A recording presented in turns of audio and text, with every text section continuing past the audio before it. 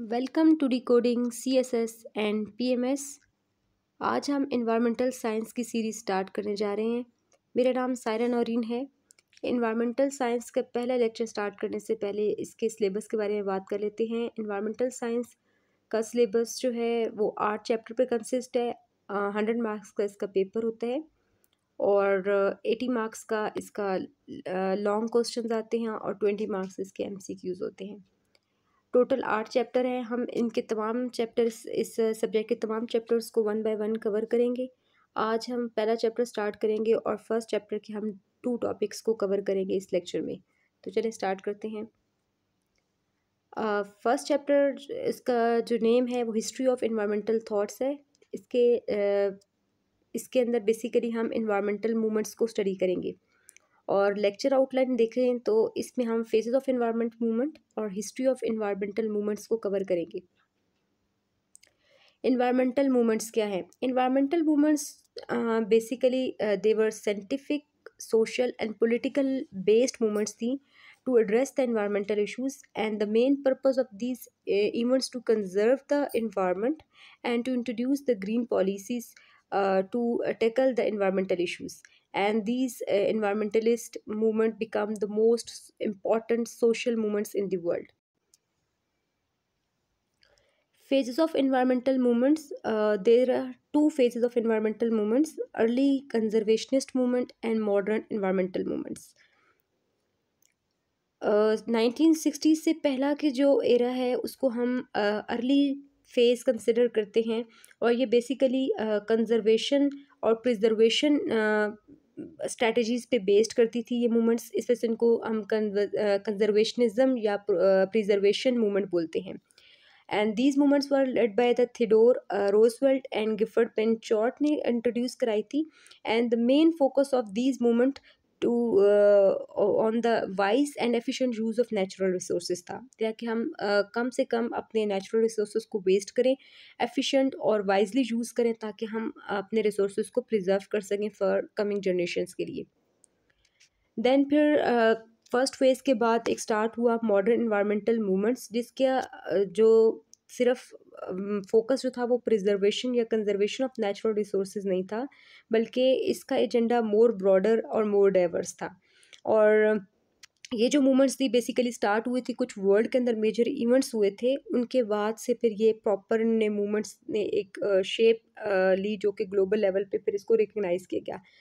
तो वो जो सिग्निफिकेंट इवेंट्स हुए थे, वो उसमें से एक था भोपाल के अंदर पेस्टिसाइड प्लांट के अंदर टॉक्सिक फ्यूम्स लीक हो गए थे। तो इसकी वजह से बहुत ज़्यादा लोगों की डेथ हुई थी। इसके अलावा यूक्रेन के अंदर चॉनेबल न्यूक्लियर पावर प्लांट के अंदर एक्सप्लोजन हुआ था। सिमिलरली यूरोप के अंदर किलर फॉग आई थी। एंड इसी तरह एक एक्सीडेंट हुआ था एट थ्री माइल आइसलैंड। इन तमाम एक्सीडेंट के अंदर लार्ज नंबर ऑफ़ पीपल्स की डेथ हुई थी और इन्वायरमेंट की जो क्वालिटी है वो बहुत बैडली इम्पेक्ट हुई थी। तो आफ्टर दैट जो है वो नेशंस ने रिकग्नाइज़ किया कि ये एक तो मेजर इश्यूज़ है और अगर अभी हम इन इश्यूज़ को एड्रेस नहीं करेंगे तो कमिंग टाइम के अंदर uh, एक मेजर प्रॉब्लम uh, होगा पूरी दुनिया के लिए।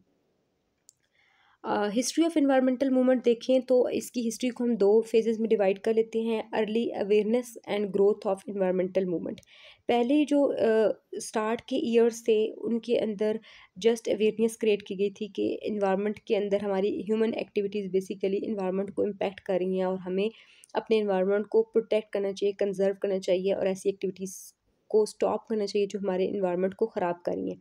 उसकी एग्जांपल ये है कि जैसे रिचल कार्सन था उसने साइलेंट स्प्रिंग के नाम से एक बुक लिखी थी और उसने पेस्टिसाइड्स के साइड uh, इफ़ेक्ट्स के बारे में वॉर्न किया था और as a result of that awareness बाद में फिर D D T D D T जो है वो बैन कर दिया गया था। तो ये अवेयरनेस फ़ेज़ में इस तरह था कि अवेयरनेस क्रिएट की गई थी कि कौन कौन सी चीज़ें टॉक्सिक हैं हमारे इन्वायरमेंट के लिए या लिविंग बींग्स के लिए। आफ्टर दैट अवेयरनेस फ़ेज़ जो था प्रॉपर मूवमेंट्स की ग्रोथ हुई थी इन्वायरमेंटल मूवमेंट्स की ग्रोथ हुई थी।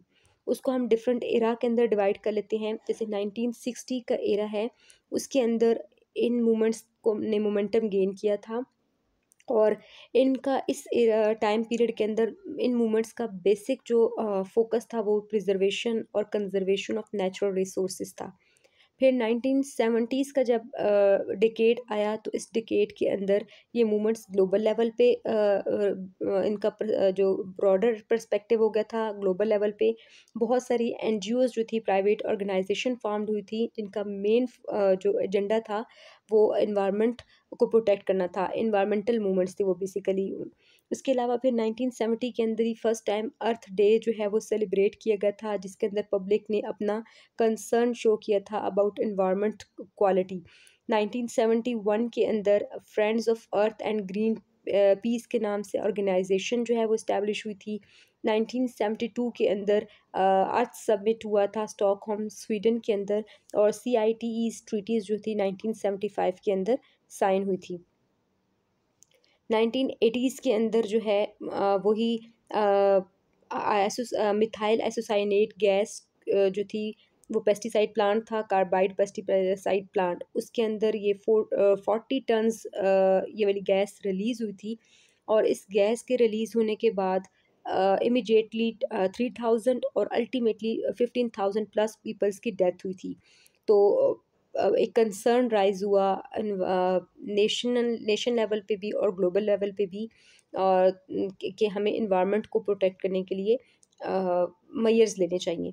इस तरह 1986 के अंदर चॉर्नेबल न्यूक्लियर पावर प्लांट के अंदर जब एक्सप्लोजन हुआ यूक्रेन के अंदर तो इमीडिएट डेथ का जो नंबर था वो फोर थाउज़ेंड था, और अल्टीमेट डेथ्स जो थी वो थर्टी प्लस थाउजेंड्स हुई थी। 1987 के अंदर मॉन्ट्रॉल प्रोटोकॉल साइन किया गया था। इस प्रोटोकॉल का मेन पर्पस था कि हम सी एफ़ सीज़ की एमिशन को रिड्यूस करें। C F Cs basically abbreviation है क्लोरोफ्लोरोकार्बन की। ये रेफ्रिजरेटर टाइप जितनी भी डिवाइसेस हैं, ये उनसे रिलीज़ होता है और इसका जो हार्मफुल इफ़ेक्ट ये है कि ये ओजोन की लेयर को डैमेज करता है।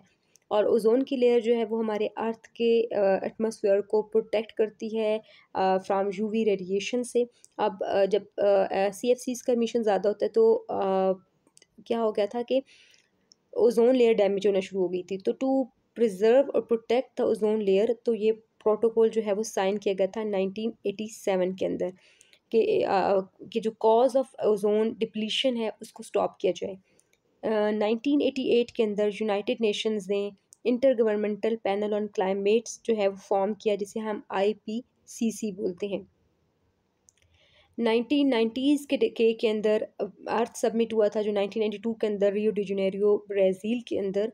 और इस अर्थ सबमिट का जो मेन फोकस था वो ग्लोबल वार्मिंग था और ग्लोबल इकनॉमिक्स था।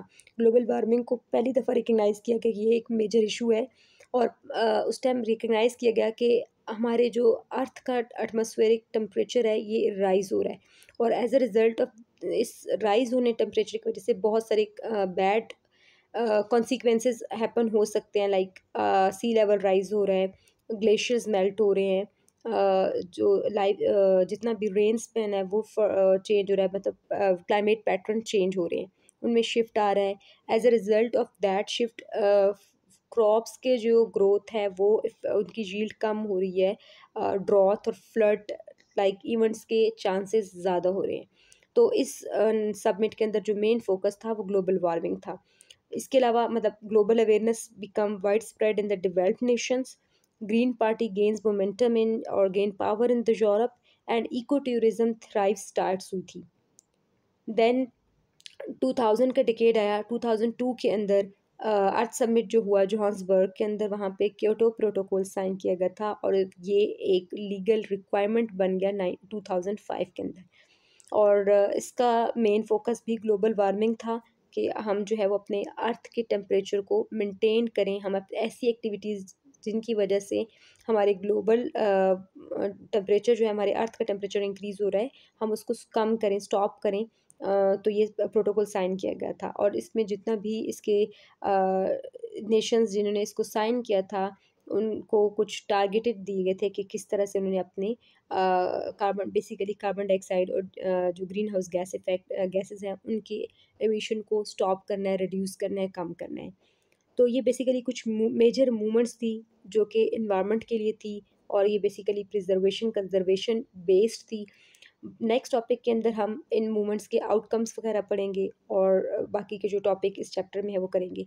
अगर आपको लेक्चर अच्छा लगा है तो लाइक कर दें सब्सक्राइब कर दें। Thank you